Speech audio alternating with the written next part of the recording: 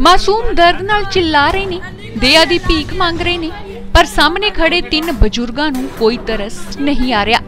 ਤੇ ਸ਼ੁਰੂ ਹੋ ਜਾਂਦੀ ਹੈ, ਪਿੰਜਰੇ ਵਿੱਚ ਬੰਦ ਕੀਤੇ ਗਏ ਦੋ ਮਾਸੂਮਾਂ ਦੀ ਬੇਰਹਿਮੀ ਨਾਲ ਕੁੱਟਮਾਰ।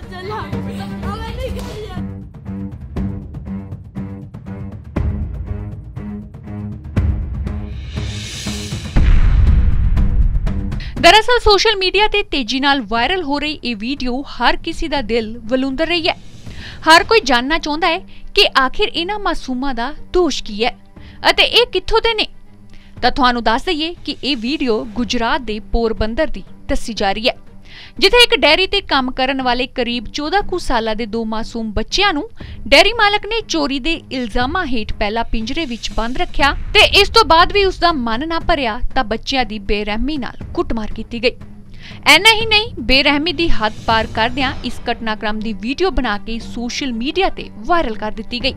ਪਰ ਦੋਸ਼ੀ ਸ਼ਾਇਦ ਇਹ ਭੁੱਲ ਗਏ ਸਨ ਕਿ ਉਹਨਾਂ ਦਾ ਇਹ ਅਪਰਾਧ ਤੇ ਉਸ ਦਾ ਸਬੂਤ ਉਹ ਖੁਦ ਤਿਆਰ ਕਰ ਰਹੇ ਨੇ। ਸੋ ਸੋਸ਼ਲ ਮੀਡੀਆ ਤੇ ਮਰੀ ਹੋਈ ਇਨਸਾਨੀਅਤ ਦੀ ਇਹ ਵੀਡੀਓ ਤੇਜ਼ੀ ਨਾਲ ਵਾਇਰਲ ਹੋ ਗਈ। ਇਸ ਤੋਂ ਬਾਅਦ ਸਥਾਨਕ ਪੁਲਿਸ ਨੇ ਤੁਰੰਤ ਕਾਰਵਾਈ ਕਰਦਿਆਂ ਡੇਰੀ ਮਾਲਕ ਵੇਜਾ ਕੁਚਾਲੀਆ ਤੇ ਉਸ ਦੇ ਸਾਥੀ ਪਰਵਤ ਤੇ ਲੀਲਾ ਨੂੰ ਗ੍ਰਿਫਤਾਰ ਕਰ ਲਿਆ। ਅਜਿਹੀਆਂ ਵੀਡੀਓ ਦੇ ਸੋਸ਼ਲ ਪਲੇਟਫਾਰਮਸ ਦੇ ਉੱਪਰ ਵਾਇਰਲ ਹੋਣ ਤੋਂ ਬਾਅਦ ਇੱਥੇ ਇਹ ਟਿੱਪਣੀ ਕਰਨੀ ਬਣਦੀ ਹੈ। ਅਜਿਹੀਆਂ ਦਿਲ ਨੂੰ ਵਲੁੰਦਰਨ ਵਾਲੀਆਂ ਵੀਡੀਓਜ਼ ਦਾ ਸੋਸ਼ਲ ਪਲੇਟਫਾਰਮਸ ਤੇ ਵਾਇਰਲ ਹੋਣਾ ਸਾਡੇ ਸਮਾਜ ਵਿੱਚ ਮਰਦੀ ਜਾ ਰਹੀ ਇਨਸਾਨੀਅਤ ਦਾ ਬਖਾਨ ਕਰ ਰਹੀਆਂ ਨੇ।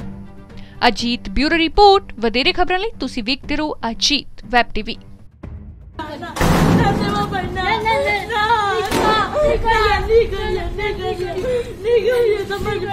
हाथ से करो हाथ हाथ करो फिर निकलिए लागिए देव भाई देव भाई हाथ करो लागिए फिर निकलिए